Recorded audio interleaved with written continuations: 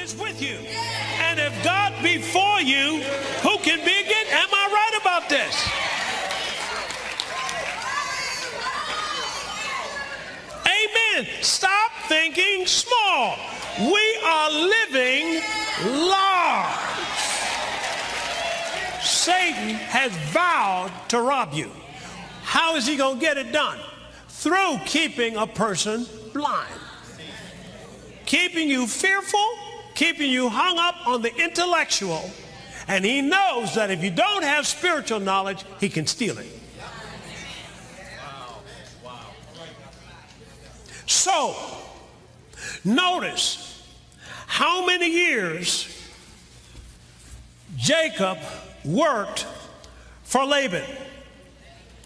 Come on down here in verse 41. And I have been 20 years in your house. And I served you 14 years for your daughters and six years for your cattle. And you've changed my wages 10 times. Now, here's what I'm saying to you. You were never meant to work this long at that job and not be rich by now. One more time. I'm going to deal with you one more time. Now, you can look at me as if you want to look at me as some kind of simpleton, but I'm here with revelation knowledge as your prophet. And I'm telling you right now that you have been being stolen from, that God wants you rich.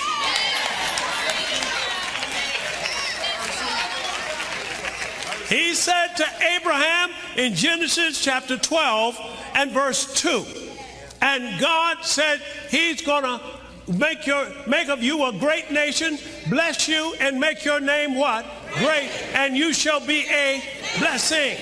Look at that same verse in the Amplified translation, and he said, and I will make you a great nation, and I will bless you with abundant, come on, increase, say increase, say increase, of favors and make your name famous and distinguished, and you will be a blessing dispensing goods to us. You, you can't bless them unless you bless.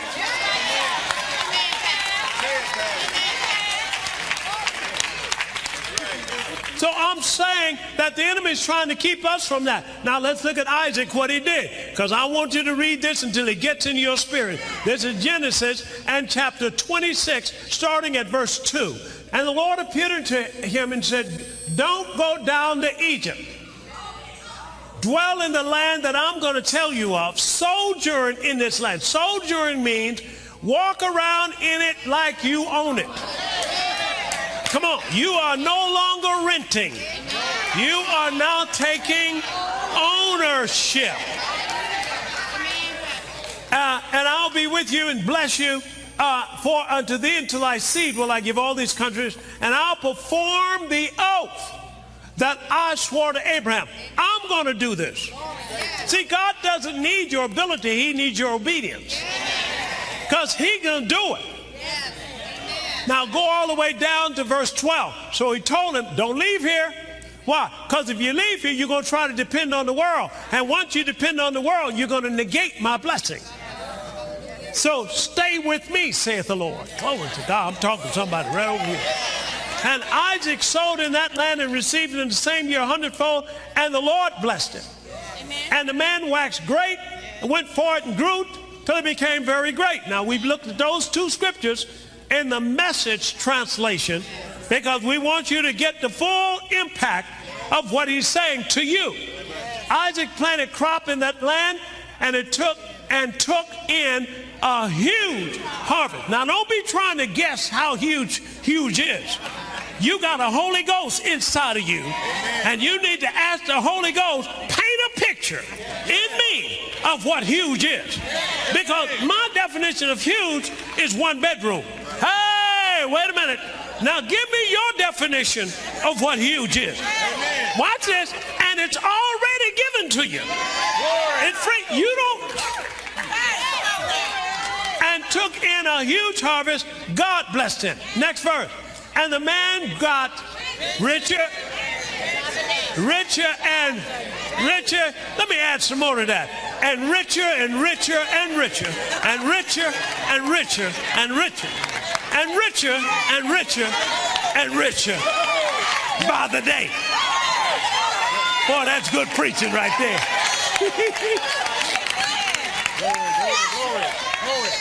Until he was what? Not wealthy. Now, why am I telling you this? Because there's work to do. Part of it is spiritual, part of it is natural. Guaranteed. Spiritual, save the souls. Natural, give them a school. Come on, spiritual, I'm telling you, it's two parts to it. And that's why he gave you two parts. He gave you Christ, who gives you the spiritual of being born again, and the blessing of Abraham, which is a tangible blessing.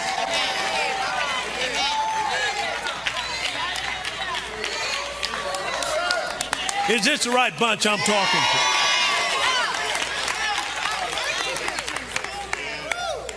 So, when I say that everybody up in here can be a millionaire, I am not trying to trying to impress somebody with some get rich quick scheme. That is now I'm talking about Abraham's seed. And I'm talking about the reason why you got to be rich is because you got to help somebody else.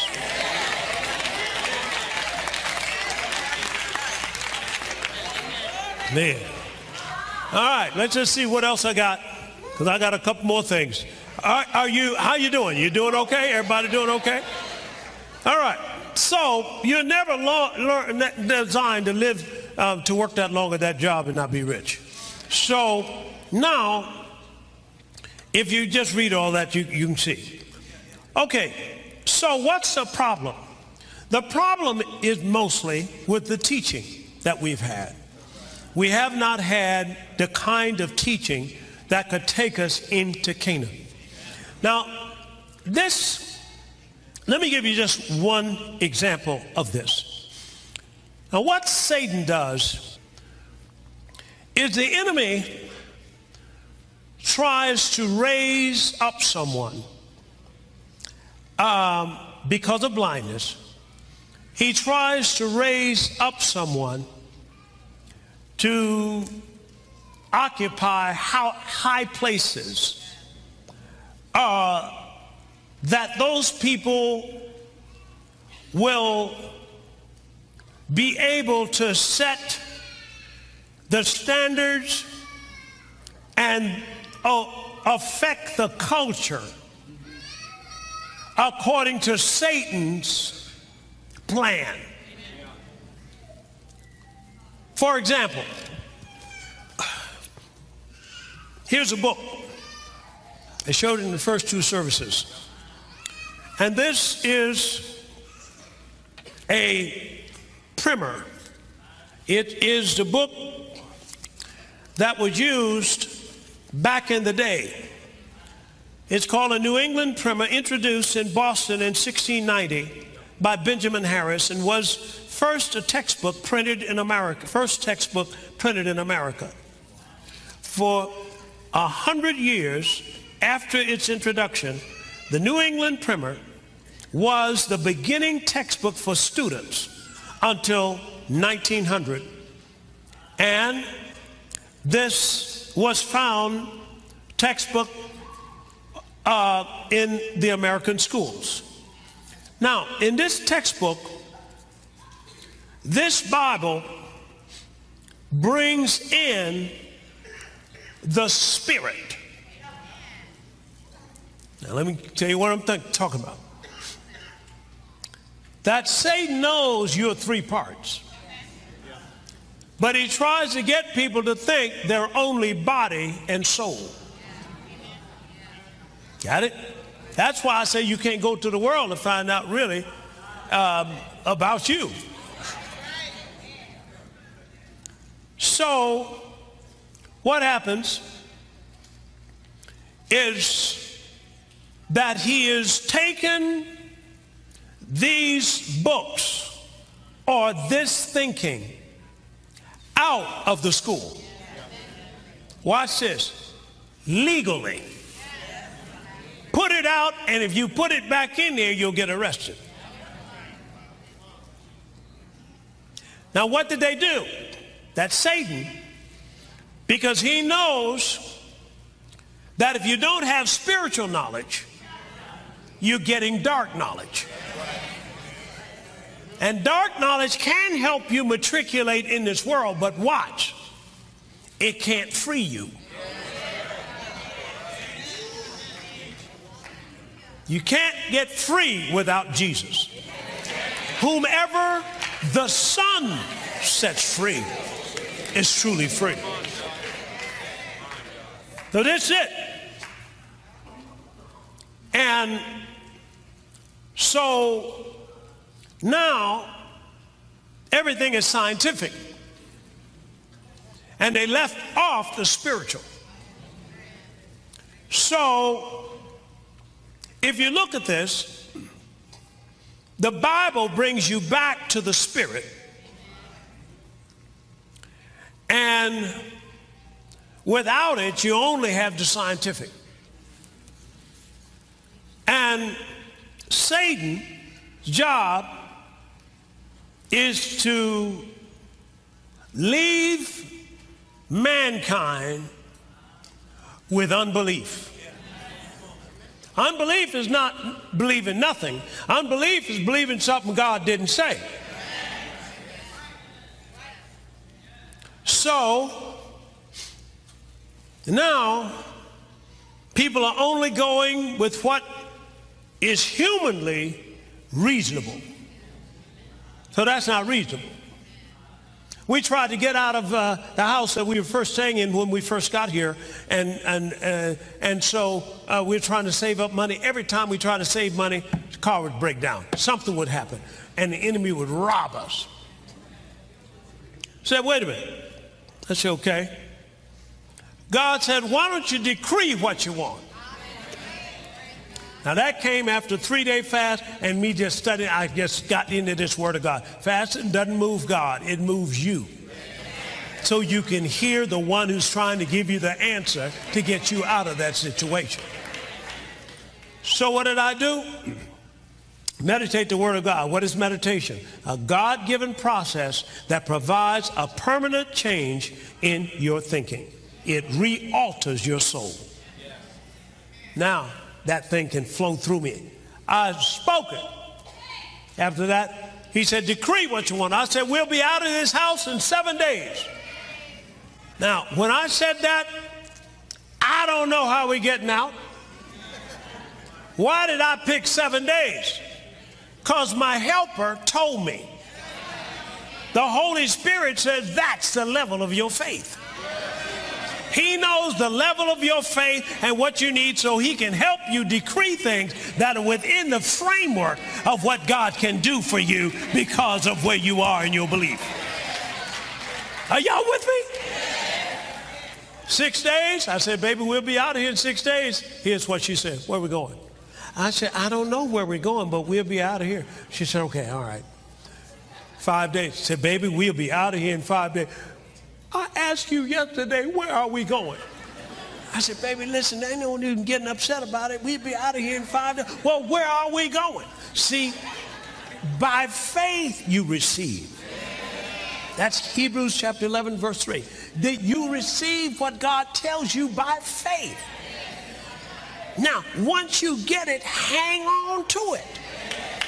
Because you got a robber that's trying to rob you. Folks, make a long story short, miracles happened like I don't know what, and we got out in seven days. How about when I was in seminary? I said, boy, I took some courses. I said, Lord have mercy, I done got too many courses. And some of these Greek things and, and Hebrew things, uh, the words are a mile long. I said, what am I going to do now? God said, get in the Word. I said, where is it? He says, it's over in Proverbs. He said, the thoughts, he said, um, the memory of the righteous is blessed. I started meditating. Memory of the righteous is blessed. Memory of the righteous is blessed. Memory of the righteous is blessed. Now notice what it's doing. It's re-altering so the power can come through my spirit. And so now my soul, and one day my wife said, sweetheart, God told me in prayer that if you study three hours a day, you can make any grade you want. I said, praise God. You know, sometimes your wife sounds just like God. And so what happened? I took that three hours a day. Next thing I know, the grade time came, my grades came, and the grades came, and somebody was over the house, and somebody said, oh, you all got the man. Oh, that looks like, that's probably Bill's grades. I said, hey, go mind your own business. You, yeah, see. I opened that thing up, four A's and three B's. How about the lady who came whose drug dealers were taking over her her block in her, in her, in her neighborhood. And I said, hey, take this oil, pour it down the middle of the street. Where I get that from? Where did I get that from? I got it from God. Where did he speak it to? Spoke it to my spirit. What do I have to do with my soul? Align my soul with my spirit. So God, it might not sound logical, but it's true. Now, with this, you gotta, this is a step that most Christians haven't made. And because they haven't made this step, then there has been other ways they've tried to solve things that have not been God. Now, let me, let me go somewhere. I'm go somewhere and don't get mad about this. Okay, so this. So we got to get the Bibles back in the schools. Now somebody said, well, you got Christian schools. Wait a minute. It didn't say the earth is, is uh, the earth and everything uh, but secular schools is the Lord's. Hey, everything in this earth is under our jurisdiction, everything. All right, now, people being treated unjustly. All right, let's look at that because in the last days, justice is going to be one of the main targets of demonic abuse. In the last days, justice system of the earth is going to be one of the main targets of demonic abuse. Now, Amos 5 24. Let judgment run down as waters and righteousness as a mighty stream. Put it up there in the other translation, please. But let justice roll down like a river and righteousness like a never failing stream. Who do you remember spoke that? Martin Luther King. He says, we're not going to quit until justice rolls down like water and righteousness. Y'all don't remember that in his speech? As a mighty stream. Now, what was he doing? He found out something about the justice system of heaven. That there is a justice system that's higher than the U.S. Supreme Court.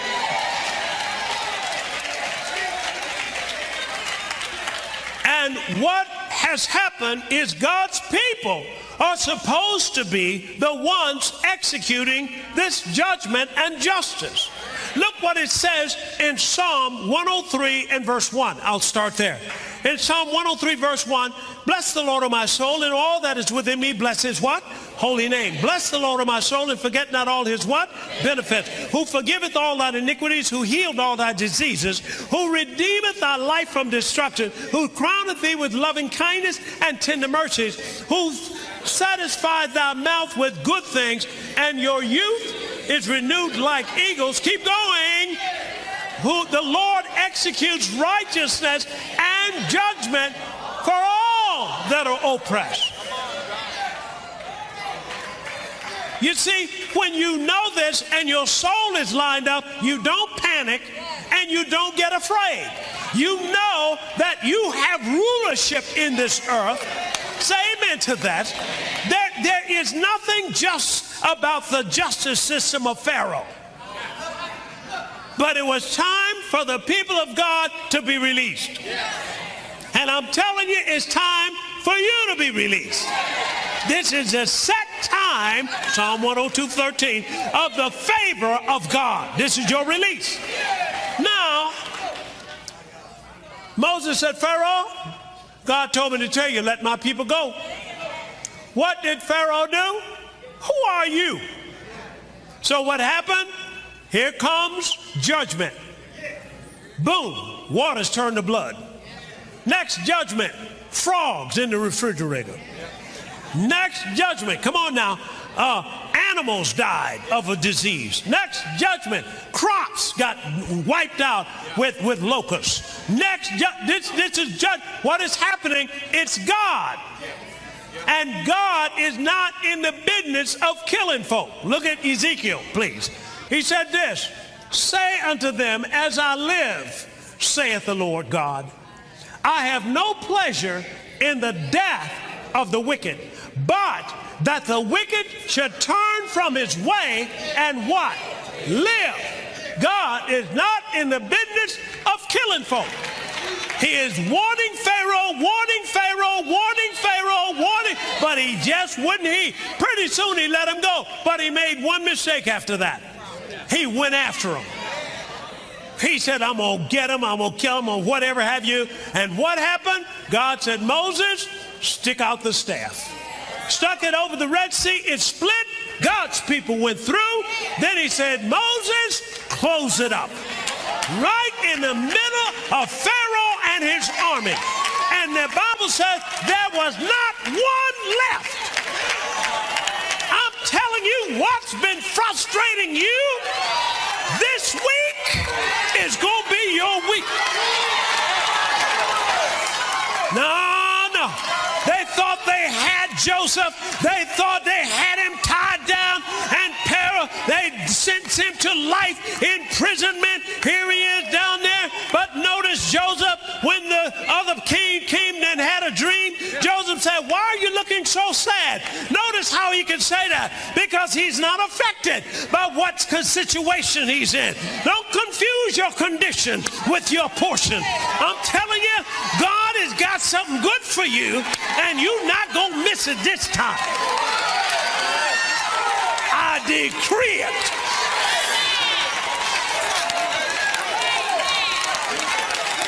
And I'm saying right now, in the name of Jesus, here's Joseph. And next thing you know, Joseph then said, hey, tell Pharaoh I'm up here. See, God, they went up there and forgot about him. Why? Because God don't need your help.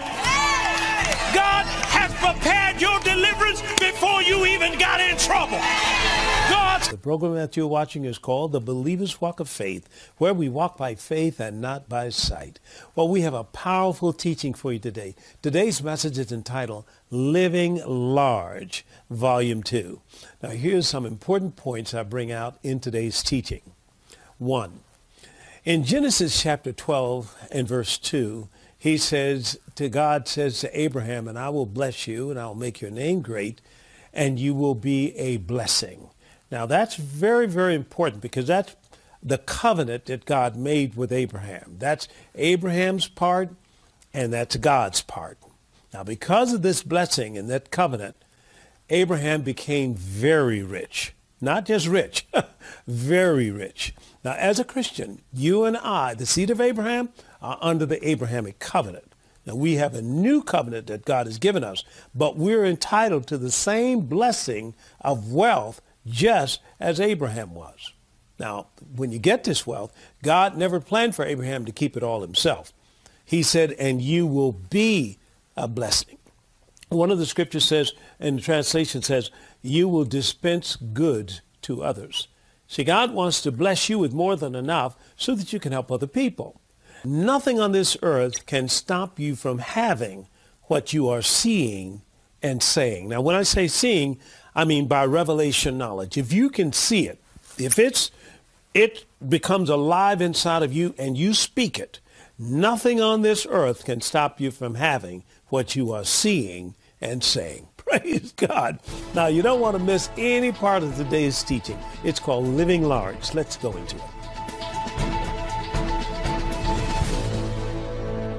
One of the best ways that God has to speak to us is through his word through his word. So you see me sitting up here speaking things out of the word of God. Remember, this word of God is God speaking to you.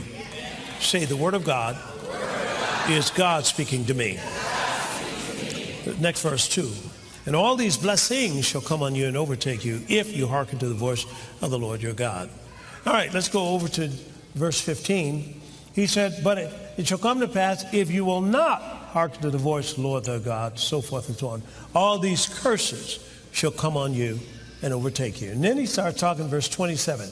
And the Lord shall smite you with botch, that's boils, of Egypt, and with emerods, that's tumors. Somebody has a tumor in over whatever have you. And with the scab, that's scurvy, and with itch, whereof you cannot be healed. Now notice all those things. And it said the Lord will do that. But it's not in the heap in the original. The original said the Lord will allow that to happen. You got what I'm saying? Now, who took your boils, your emerods, your scab, and your itch? Say amen to that. So Jesus took it. So now you know why he says in James, is anyone among you sick? Let him call for the who? Elders of the church. Let him anoint him with oil in the name of the Lord. And the prayer of faith shall save the sick or heal the sick. And the Lord will raise him up. Watch this. And if there's been any sins, he'll be forgiven. See, if disobedience got you there, God's saying, I'm going to clean you up and I'm going to forgive you for your disobedience. Now that you can't, you can't beat that with a stick. All right. Let's go on down. Verse 31, thy ox shall be slain before your eyes. That means you get fired or job taken away, whatever have you. Um, verse 32, thy sons and thy daughters shall be given to other people. And thou shalt carry out much seed in the field, and shall gather in but little, for the locusts shall consume it.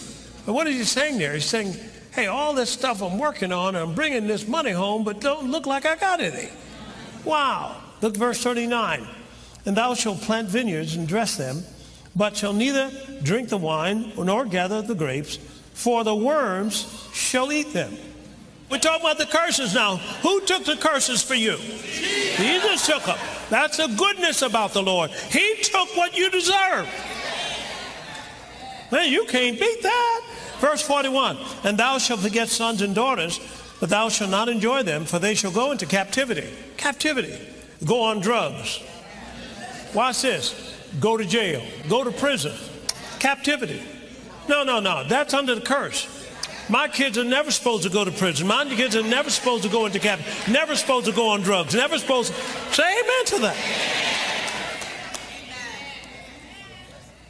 Verse 44. And he shall lend to you, and you shall not lend to him. And he shall be the head, and you'll be the tail. Now that's not supposed to be that I'm supposed to be all doing all the borrowing. supposed to be that I'm supposed to be doing the lending. Isn't this good? So what does the enemy try to do? He tries to get you to somehow rationalize this in your life and keep you from desiring to get out of it. See? And I'm telling you, it doesn't, this condition doesn't change just because uh, you're tired of it. It changed because you get delivered from it. You take this word, put it in your heart, let it change your soul, and God will deliver what you can see. Man, there's good preaching here. All right, so now let's go and these are the blessings. So let's go and see what happened, because there's one more thing I want to cover here before I cover my last thing. Let's see what happened to Jacob. Well, we got to track Jacob through the Bible. And let's start at Abraham, his grandfather. And Abraham, Genesis chapter 12, verse 1. Now, I might repeat some things, but the, faith comes how? By hearing, and hearing, and hearing, and hearing, and hearing. So look at Genesis chapter 12, verse 1. Now the Lord said to Abram, Get thee out of that country, from thy kindred, from thy father's house, into a land that I'm going to show you. So I'm wanting you to leave the system that you've been dependent on, and I want you to depend on me, Abram. Me, I don't want you to depend on them. I want you to depend on me. Now, what does he have to do? Sometimes you got to take people out of their comfort zone so that they can depend on you. Say amen to that. All right, so now he's sending him somewhere. Now you got to follow God because they, you know we ain't had GPS at that time. So now He's following God, and he ends up in a place where there's a famine. He said, I ain't staying here. Why? He's not used to the blessing that'll take and change any environment into the garden. So he's not used to that yet. He's got the blessing on him. Watch this in verse 2, verse 2, verse 2 uh, of Genesis. He said, Now I'll make you a great nation, bless you, and make your name great, and you'll be a blessing. I'll bless those that bless you, curse those that curse you, and these shall all families of the earth be blessed. So let's just take this verse 2, and look at it and amplify it again one more time. And he said this. He said, I will make you a great nation. I'll bless you with abundant increase of favors and make your name what? Famous industry. You should be known for something. I didn't say it, the book said it. All right? Now, Abraham departed. He says, Abraham, follow me. So look at verse, chapter 13 and verse 1. And Abraham gone, went down to Egypt, told uh, Pharaoh that Sarah was his sister. But then when he took Sarah, his house got plagued. So I'm just telling you, when your blessing is on your life and you obey God, that those who are harassing you are going to be dealt with. Come on, those who try to take something from you Ooh, wee, this is good preaching here. All right, now, so look how he ended up. Verse 1 of chapter 13. Abraham went up out of Egypt, he and his wife and all that he had, and Lot with him. And Abraham was how rich? Come on, it's, it's all right if you say this. Very rich in cattle, silver, and gold. Now, what's the good news here? The good news is what Abraham obtained is also your right as a Christian and as a seed of Abraham. One more time. What Abraham obtained is also your right as a Christian and a seed of Abraham. You are included in the Abrahamic covenant. You are included in the Abrahamic covenant. You are entitled to wealth just as Abraham was. One more time. You, I'm putting this down in your spirit. You are entitled to wealth just as Abraham was. Now, somebody say, well, what am I going to do with all that money? Boy, if you got to ask that, we, we got to go all the way back to the beginning. Check it out. God does not want you to keep it all.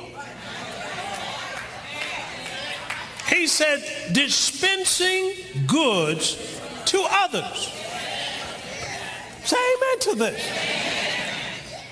He wants you. See, if a person understands righteousness and are acting right, you don't have to talk to them about keeping it all.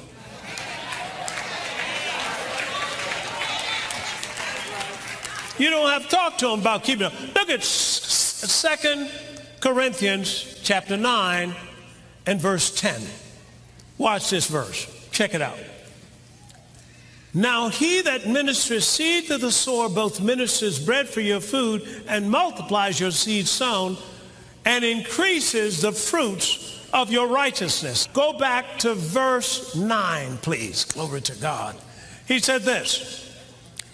As it is written, he has dispersed abroad, he hath given to the who? Poor, and his righteousness remaineth forever. See, a righteous person, you don't have to tell them to help other people.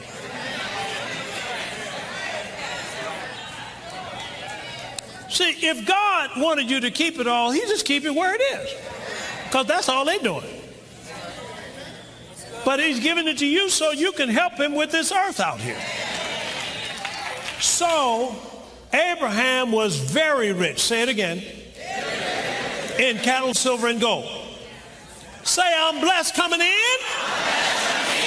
I'm blessed going out. Monday morning, you're going to be blessed coming in. And you're going to lean with it at that same time because favor is going to be on you. Say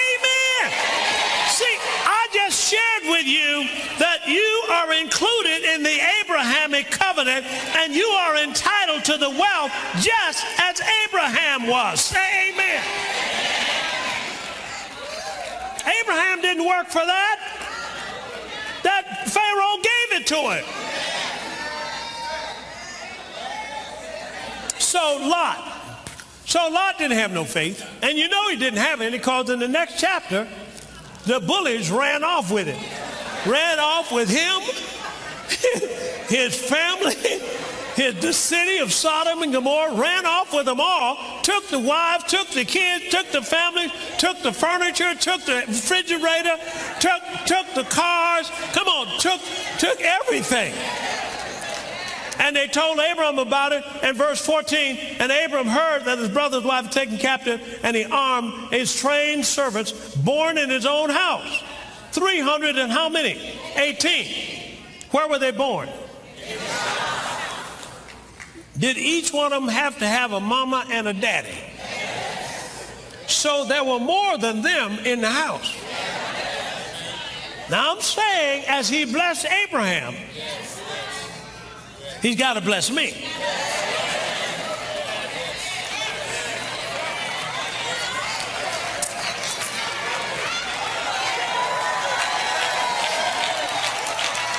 Remember what he said, you got to fight for this stuff. You fight the good fight of what? Hey. So now he goes after Abraham. I mean, after Lot. And he gets him. And he slaughters the enemy. That's what the Bible said. Use the word slaughter. Not compete. Slaughter. Two different things. One of them is in the area of dominion. Now, he didn't get his, his military strategy from Yale. See, he, he didn't allow the strategies that are being taught in the universities to be all he used. Because if he did, they'd be competing.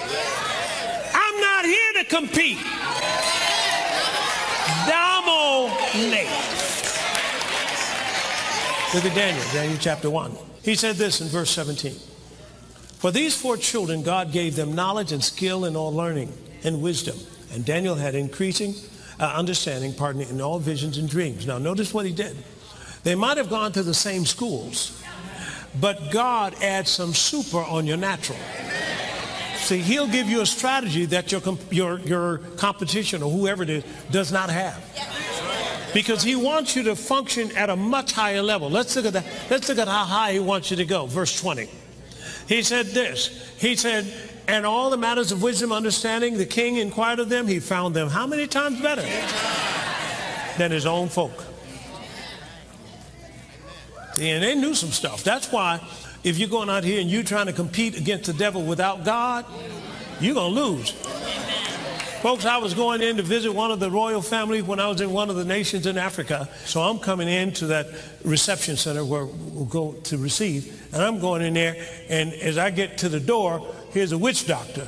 And he's shaking beads at me.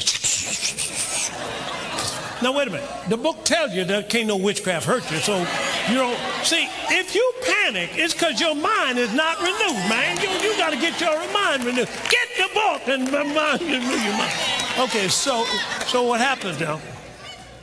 So I go in that book. What is he doing? See, he's, he's adding his, his sorcery to that rule, to that reign. See, he's adding his sorcery. Now, that's the same thing that happened in Egypt. Because when Moses went down there and said, Pharaoh, let my people go. But Pharaoh said, who are you? He said, and Moses took his stick and threw it down, and what did it turn into? Serpent. A serpent. What did the sorcerers do? See, y'all got to get this now. There is spiritual knowledge that God wants his people to have that nobody else has. Now understand, God is good to all. The Bible says he calls, calls the rain to fall on the just and the unjust. So good to. But as for you, who are the seed of Abraham and the blessed of the earth, he causes a special empowerment and flow of the anointing to be upon your life so that you could operate above any witchcraft, sorcery, anything that Satan has. You get a magician today and he stands and he does some magic trick and so forth. I dare you to catch it. I dare you to catch it. You can't catch it. It because there are rules to it. He knows the rules of how you can do this. And Satan has rules to his sorcery. And that's from sorcerers to get them books, man. And some of that stuff ain't passed on to everybody. It's passed on to only them, them sorcerers. And I'm saying that it's conducting and manipulating spiritual laws. Yes. Well, God can have you operate above that because that, that, that's why you can't win against Satan without God, man. What you got is to dominate. And it's to dominate anything that Satan can come up with. I said, you just don't come in and try to fix it. You bring forth creation. You bring forth something that'll give you a new organ, a new kidney, a new heart. Come on. You don't need to put a stent in that one. Get a new one. And your body say amen. And God's got a parts house in heaven that he got all these parts. And if something is damaging your body, all you do is get in that word, get the faith, then access it by grace and receive it and believe you've got it and start walking in it and watch the transfer take place. Folks, I'm going in the nations. They got stuff going on over there, but I'm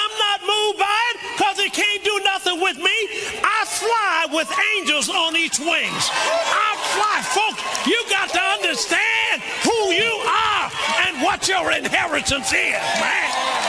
No evil shall befall you, neither any plague, no weapon formed against you. Even any tongue that rises against you will be shut up. And I'm saying you got dominion in this earth.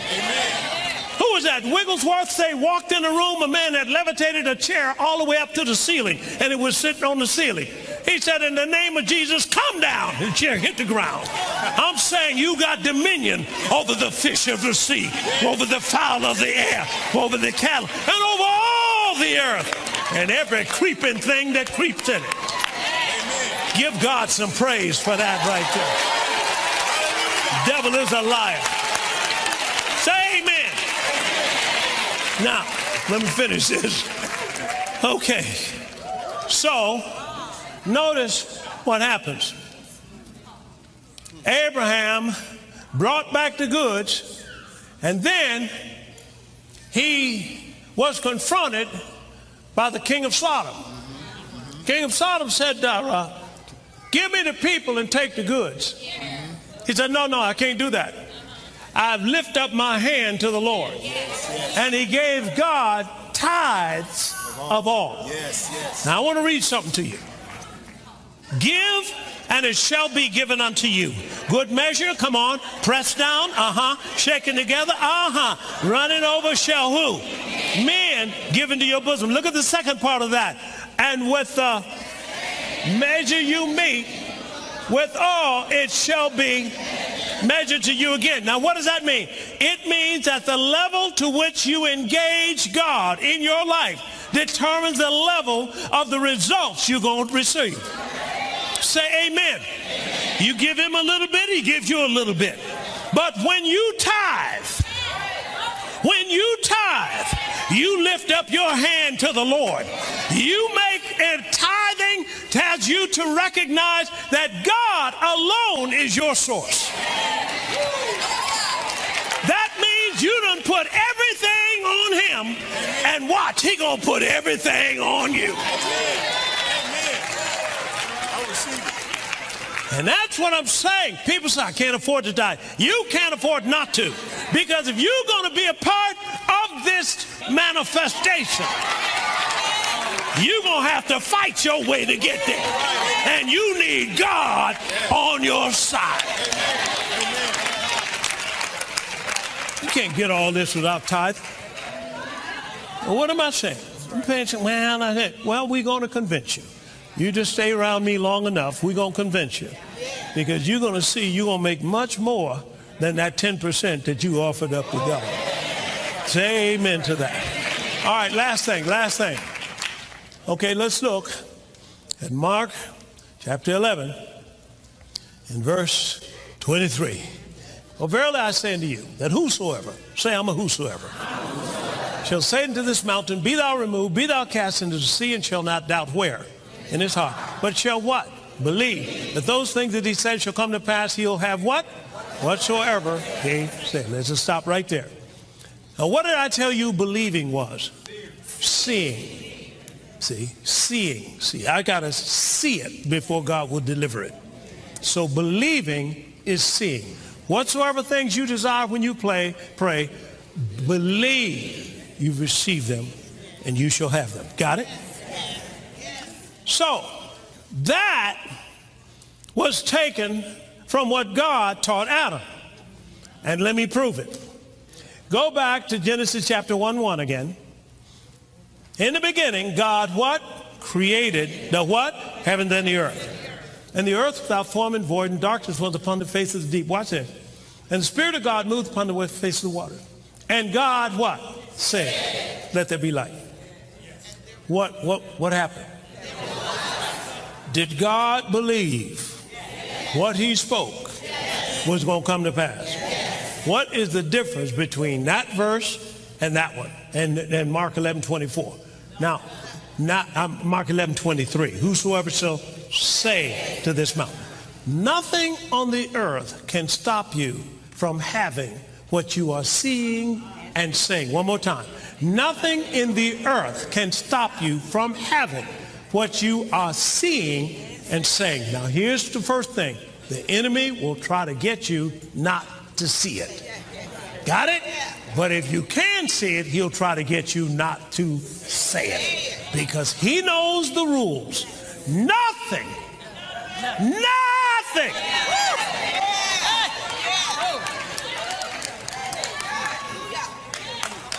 Leave that, folks. Now, what makes this so? Genesis chapter 1, verse 26, please. God said, let us make man how? That means the exact duplicate of kind. After our what? What? Operate the same way I do.